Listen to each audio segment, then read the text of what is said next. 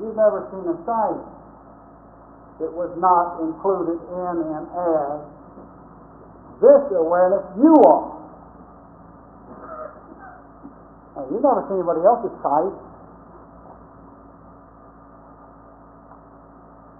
One awareness, the only awareness. The only one you've ever been has been alone. It's seen every sight that you've ever seen. Now, whether that sight happens to be an external, so-called external, away from a point in time and space called out there, like Mount Everest, it might be uh, that you can see it literally, or whether it's a, an internal image, a vision, a thought, like at the minute all of you can think what home looks like, or what what parents look like, or what friend or lover looks like. You can vision, but all of these visions and all of these sights, whether tangible or intangible, are within one location, one place, within awareness, within identity. So you've never seen a sight with your own sight. Now, what about the sound? Right now you're listening to a sound, aren't you? You might say you're listening to a sound that is Bill talking to you, Bill Samuel. But are you listening to a sound that is Bill Samuel's, or are you listening to a sound that is within awareness, the awareness you are? But you're listening to a sound that's within awareness, the identity you are. You identify as awareness, you know darn well you're not separate from that which you include or which you hear, feel, see. So the sound you're hearing right now is the sound you're being. You're not separate nor apart from it if you identify as awareness. But if you identify as a point in time and space, yeah, sure, it's out there and belongs to somebody else. And then you have to worry about it and, and, and argue with it and judge it and call it good or evil, right or wrong, correct or incorrect, inspired or uninspired, or uplifting or, or not uplifting, or inspirational or not inspirational. But but listen, if you identify as the awareness you are, and you understand you're listening to yourself, any criticism or condemnation would be self-criticism and self-condemnation. Any judgment would be self-judgment. Somewhere, somewhere, the statement was made, and I know you all know. By what measure you judge, you'll be judged. You've heard that.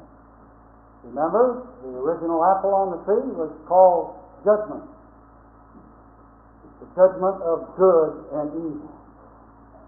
All right, so as awareness now, we understand that every sight we've ever seen has been our own sight. And every sound that we've ever heard has been our own sound. And as awareness, every feeling that we've ever felt has been our own feeling.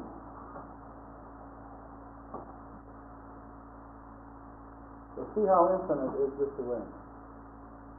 All of a sudden it's alone, total, only, and all awareness, the functioning of mind. Mind and its functioning all one mind. Mind without functioning wouldn't be mind at all, would it? Mind functioning is mind in its totality and completeness. Now, one of the one of the few agreements in all this world, and this world, bear in mind, is perceived and understood, felt, and experienced in one place only, within the awareness you are, within and as the identity you are. In all of this world, one of the strange agreements with all of the religions, that is, when their original statement, their basic statement, before it got all twisted around by the great possessors of awareness, the great judges of awareness, and the custodians of awareness, and the manipulators of it, was that God and mind are synonymous. It has been said in many ways by many philosophers that mind is God, or that God is mind, or that God is life, or that life is God. Okay. Y'all with me up to up to this point? Uh-huh. It's not difficult to understand. It's so simple. It has been its simplicity. It has hidden it, not its profundity and complexity. Its simplicity is what hides it. It is in utter simplicity that we discover In coming out of the awful intellectual struggle of striving and contending and weighing and measuring, to come back home to simplicity. There's a story told in the East that Buddha one time was, was made the remark, he says, I have here the, the, the, the quest of life, is the way he put it. Jesus said the pearl of great price.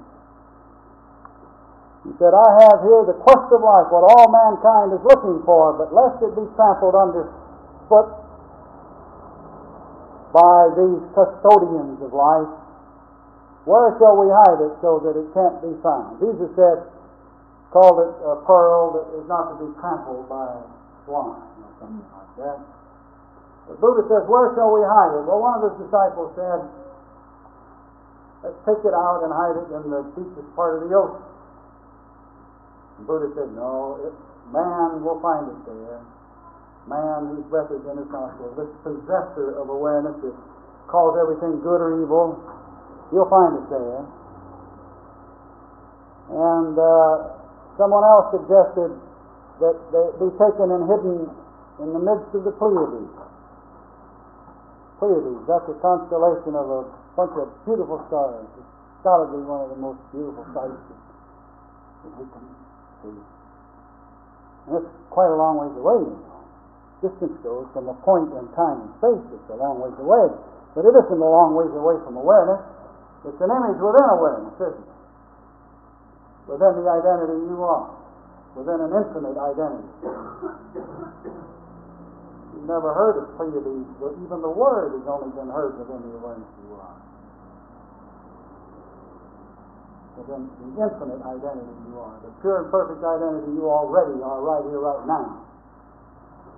Okay, so this one disciple said, Well, Master, tell us if we don't hide it in the ocean and if we don't put it out in the farthest reaches of space, where can we hide it where, no, hide it where nobody will find it?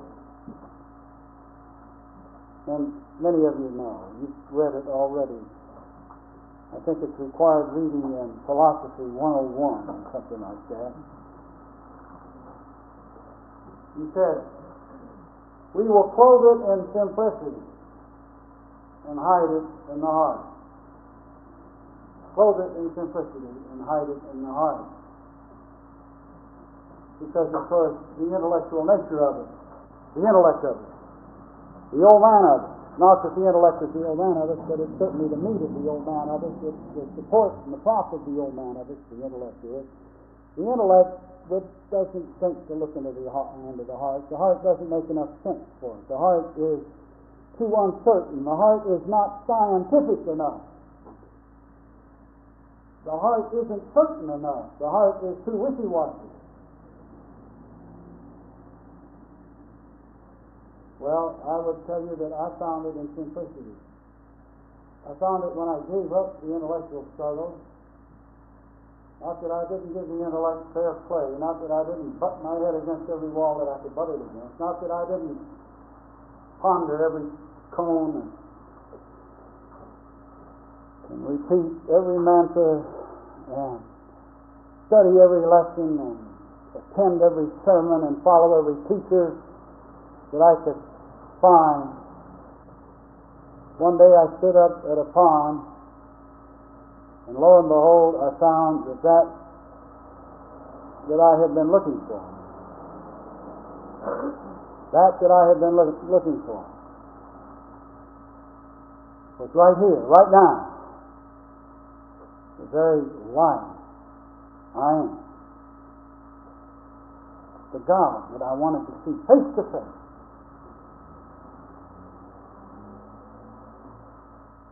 It's the very life is the very life. Identity is. Closer than breathing. Closer than fingers and toes.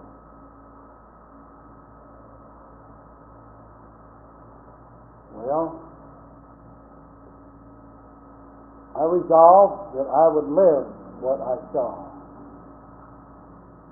I had long before learned that if when something would break through and a new little bit of inspiration and light, and incidentally it's happening right now, you know it? There are a lot of people here hearing things that they have intuitively known forever. Why? Because it is who and what you are. Of course you intuitively know who and what you are. The heart knows who and what the heart is. Life knows itself. And so right now, there are those saying, God, this is so, this is true.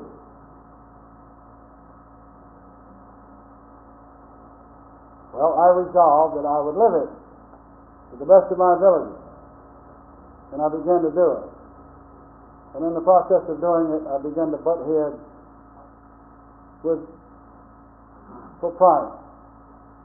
And I butted heads with society.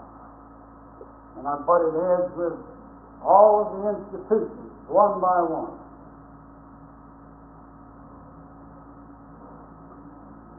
Every everything, Lord, Lord the boom, to send me rushing back to the old concept with which I had been comfortable, reasonably comfortable, at least compared to the awful agony that, uh, that was presenting itself, it did seem that the old way was more comfortable. And so, and so, I was sorely tempted to go rushing back to the old way and realized how many times in the past I had, how many times in the past I had seen the truth and recognized it, only to be frightened back, only to go running back.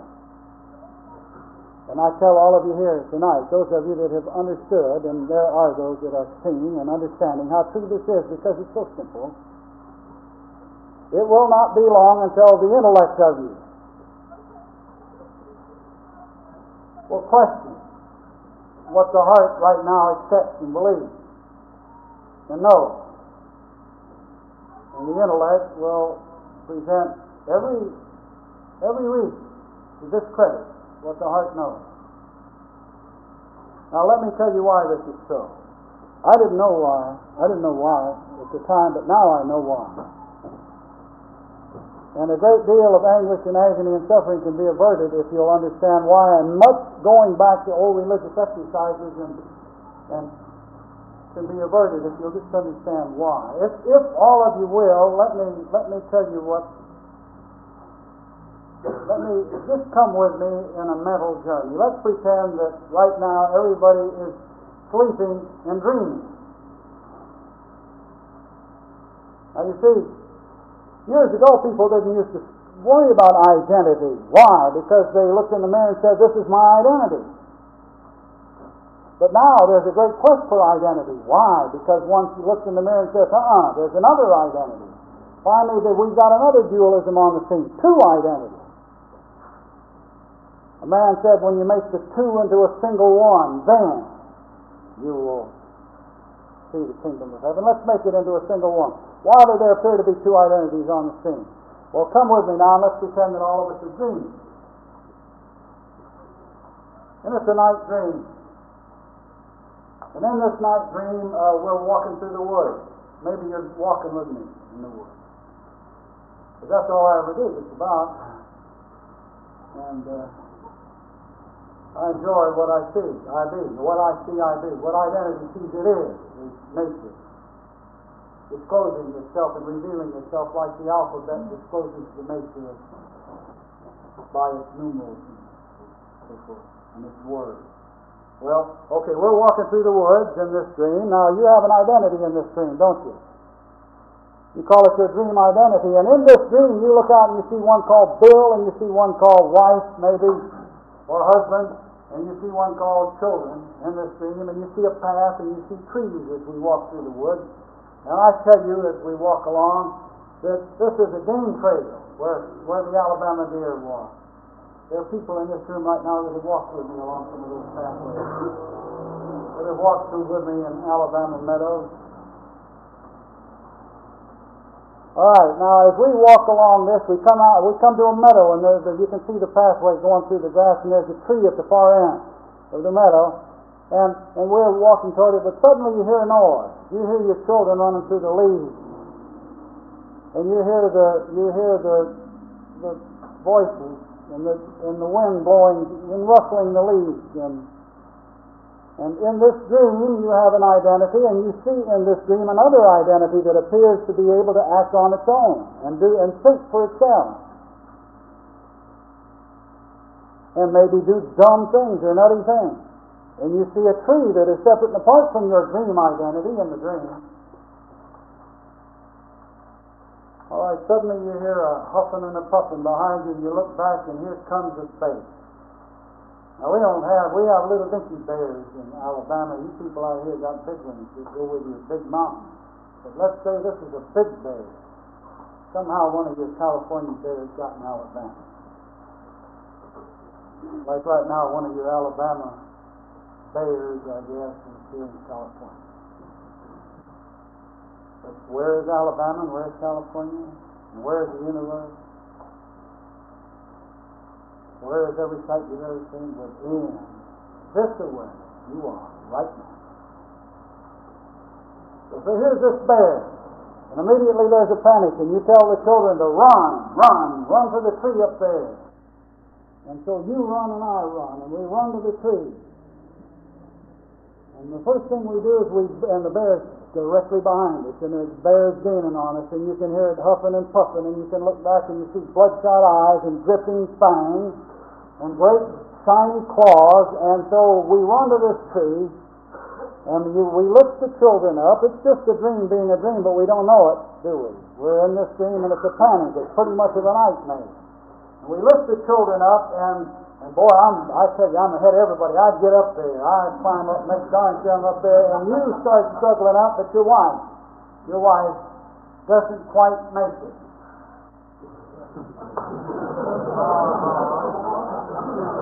You women live people can lower the boom on you. You like?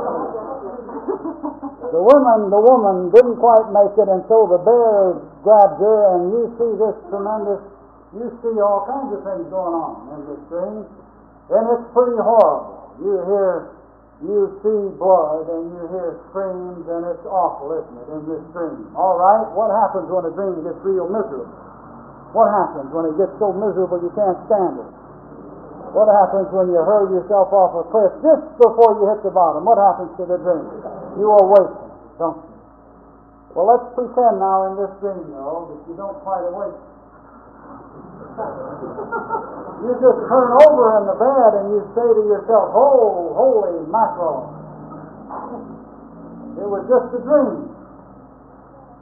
It was just a dream and then you snuggle back up because it isn't time to get up, and you go back to dreaming, and this time you dream something more pleasant. Well, now listen, listen. In this dream, all of you can clearly see that the people in the dream and the other identities in the dream and the multiplicity of people in the dream and the 10,000 things, as it's put in Oriental philosophy, are not separate nor apart from the dream. That it's all just one dream going on and that the substance of everything that you see is dream. Right? And that it's included in one place alone, in a dream. Now, because you've stirred just a little bit, suddenly you're aware of two items. And if you snuggle back and get more comfortable in the dream, you're this time aware that there's another identity greater one that isn't so beset with trials and tribulations, that isn't so agonized by the sights and sounds all around us. The things are not as they appear.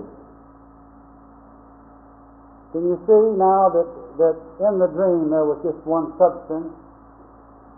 It was called dream. Can you see that right here, right now, this instant, that there is one substance present, one basic, underlying, overlying substance is present, called awareness, called theism, reality, called by many names. And yet no name can name it. And any name that is supposed to be the name for it can't name it. How can something that's infinite be given a finite name? A name would be limited. Yet this awareness is infinite. It has no name. It is known only to itself. Now let me ask you, how many of you have heard the statement that him that overcometh will be given a smooth white stone on which is a name that only he shall know is in Israel. Those are words that are in the Bible, in the book of Revelation, a statement by John. How many of you have heard the statement, he who knows doesn't speak, and he, who speaks doesn't know? How can what is infinite by any way, shape, form, or fashion be circumscribed or, or spoken of? Because the very words that would attempt to speak of it would be a lie, because they would be limiting and infinite. So the statement is that we can only point a finger at the moon, but it, but it has to be seen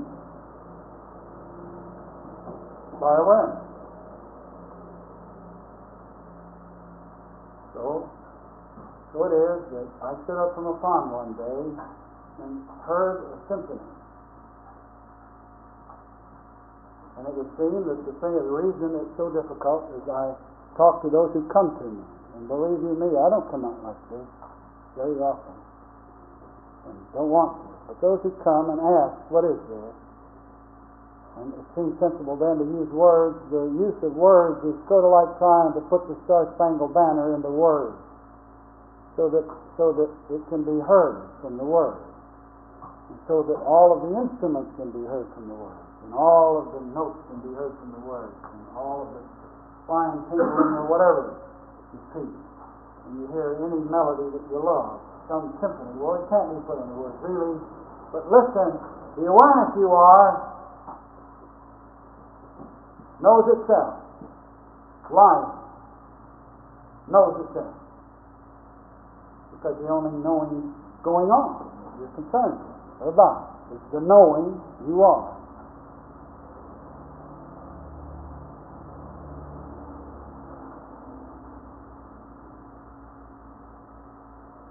During the time that you're just awakening from a dream, you find yourself able to do all kinds of strange things. You know, just as you're waking up, the dream begins to lose its solidity. And as you awaken, as you're waking up, and there is sort of a transitional state between wakefulness and sleeping, you find funny things going on in the dream. You find that you can leap over walls, you can fly like a bird, and you can walk naked up and down the street, nobody will fuss at you. Or something else. You find that you can do all kinds of amazing things. This period in our in this awareness, right here, right now, this period, this time, when there seems to be an awareness of an ego or an identity that we have believed ourselves to be, a great possessor of this awareness, and when we're becoming conscious that awareness itself is who we are, is a period of distortion. When all kinds of strange and weird things are going on. Where? within the we are. And so we see mountains move, we see the earth tremble, we see man destroying himself, all in this dream. And yet we find ourselves with peculiar abilities, maybe uh, an ability that if we were to just, be honest and literal, the gifts of healing, the gifts of mental manipulation, the gifts of mind control, the gift of being able to levitate the gift of being able to sink leaves across the, uh, the pond, surface of water. The gift of soul travel or projection. All of these things appear to be, yeah, sure, they appear in the discourse. But listen, listen. I walked down that path for myself. I found myself what the world calls a healer. Oh boy, there was nothing, nothing. It didn't seem to yield or lend itself to, to my ability, to, to the possessor of awareness's ability, to the dreamer's ability. I could do anything and everything. Nobody ever came to me with a problem that I couldn't resolve in one way or another. That is, that, seemed to deal with a problem to the dreamer, to the one that said, This is my awareness. Boy, I was just something. Now listen, listen, all of you, if you're dreaming, and it's a pleasant dream, and you love it, and everything that's going on in there, there's some very cherished things going on in there. Maybe a very happy love affair, maybe what? Maybe you're wealthy and money is rolling in or something like that is going on in your dream. And you begin to wake up but you find uh, during this period of discord that, gosh, you can just make money come rolling in, and you can heal, and you can do all sorts of things. You can levitate. Tell me, in the in the in the arena of this illustration, what does this do to the dreamer?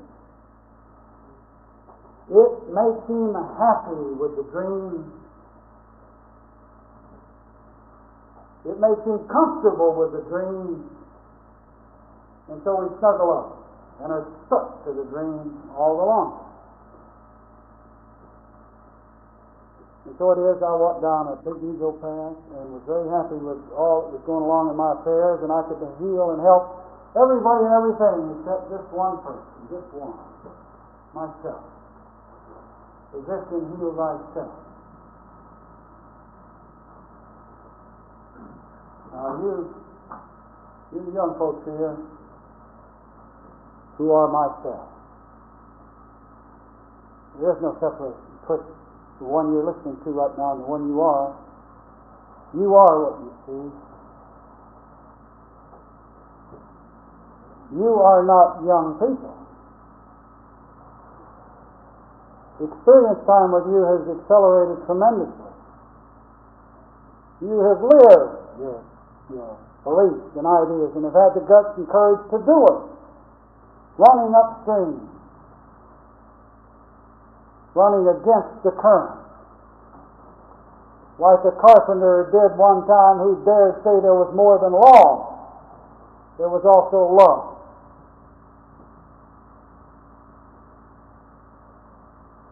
And like a, an astronomer did one time who dared say, contrary to the total structure, contrary to every belief, he dared say, the earth is not flat, it's round. You folks, you young people, wisdom, of course, comes with what's called years. Yeah, sure, time. It, it comes mostly from experience, and this is what all of you've done. Your experience time is way ahead of most of the venerable gray hairs you see all over the place. And you know it. And you know you know it. And I know it, too. Now, the child you are is awareness. And it's all that's ever been real. And all of the venerable gray hairs and the teachers and the professors and the ministers and all of the people filled with pomp and majesty and proclaiming a grand identity to be their own and so forth, they're children too. Why? Because they are images within yourself. They are forms that you see within the awareness you are. They are like the letters of the alphabet, revealing yourself to yourself. And so you've never seen anyone but yourself. And the young folks know this story and have the courage to live it. But this, this statement is not new. This statement has been being made for a long time by many people. Every once in a while, every once in a while, in all of our experience, someone comes along to say, look, if you consider yourself a climber climbing up the ladder to get to wisdom, even if you were to get to wisdom, you'd still have the climb. Every once in a while, somebody comes along and says, Look, if you consider yourself a dumb dumb trying to get smart, even if you get smart, you're still stuck with the one who was struggling to get there. Every once in a while, somebody comes along and says, Look, if you consider yourself walking along a path to enlightenment and illumination, you are identifying as one who is not light and illumination here and now. Every once in a while, somebody looks up at an identity, at some vision of themselves that says, what you're looking for is what you are. And the only way to get there is to be there. And quit being the struggling one. Quit being the climber. Now listen, that leaves something unsaid, doesn't it? It doesn't change the scene. Right now, we can walk out of here and say, yeah, I'm it. It is I. There's only one awareness on the scene. God awareness. The divine awareness. The divine life. There's just that one life. Allness and onlyness is who and what I am right here, right now. But, what is there left to do? There is to live it. To live it. Now, how? How? Very simple. Again, it's just simplicity. It hides it. But your heart will hear this and your intellect will argue with it until hell freezes over. But your heart will hear it. And your heart will know it's so.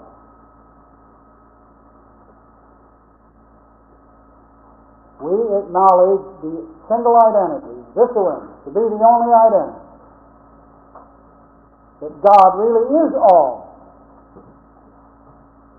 and that God is this life right here, right now. We acknowledge that fact. But then what do we do? Then we start just letting go to believe that this awareness is not already there.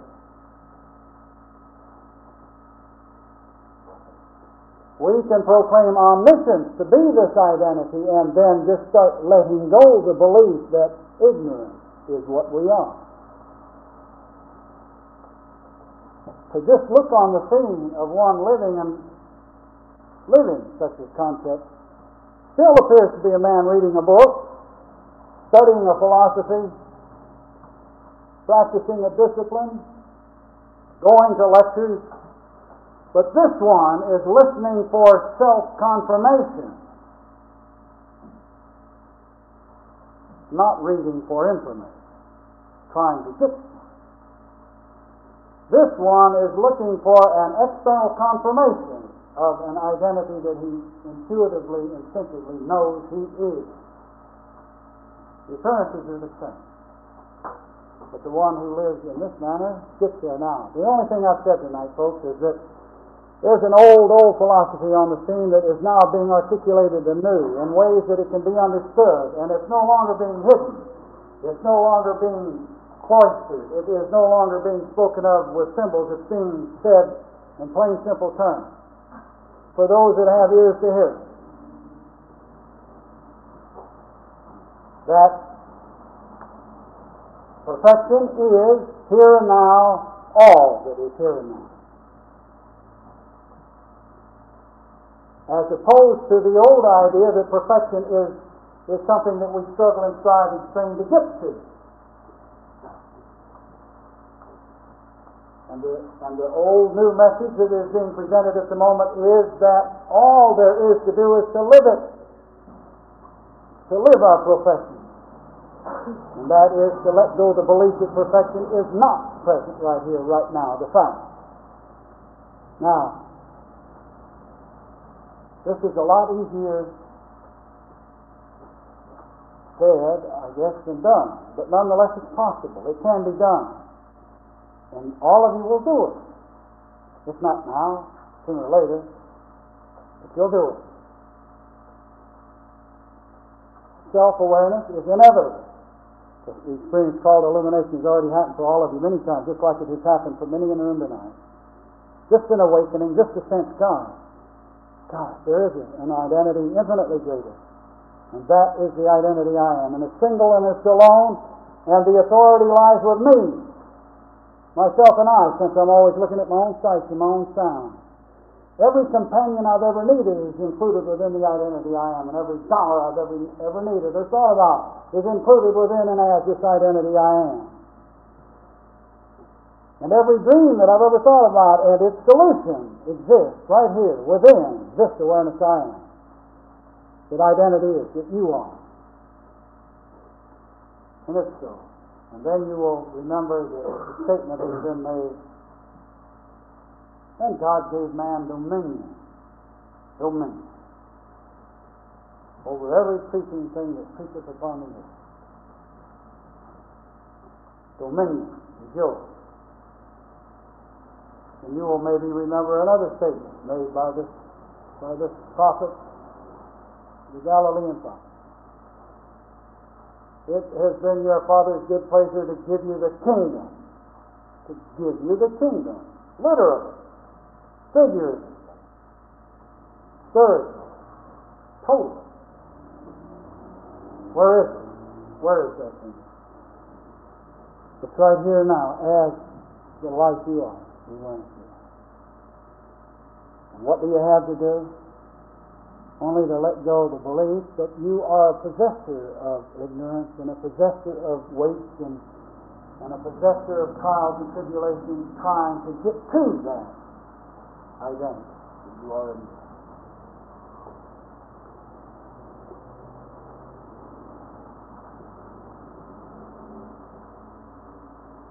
Folks, uh,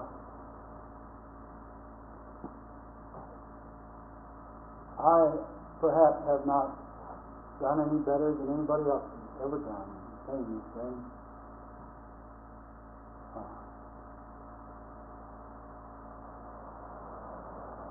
I know what I want to say. Uh, yet I know it can't be said either. Yet I know that what I see is wisdom and beauty and perfection, and it understands itself.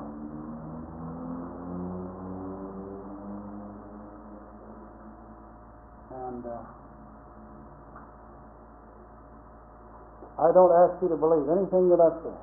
I don't care. Look on me as a false prophet, It's just another me, just another voice crying in the wilderness. But, but, but I would tell you that everything that I've said here tonight, you can try it out for yourself. It is provable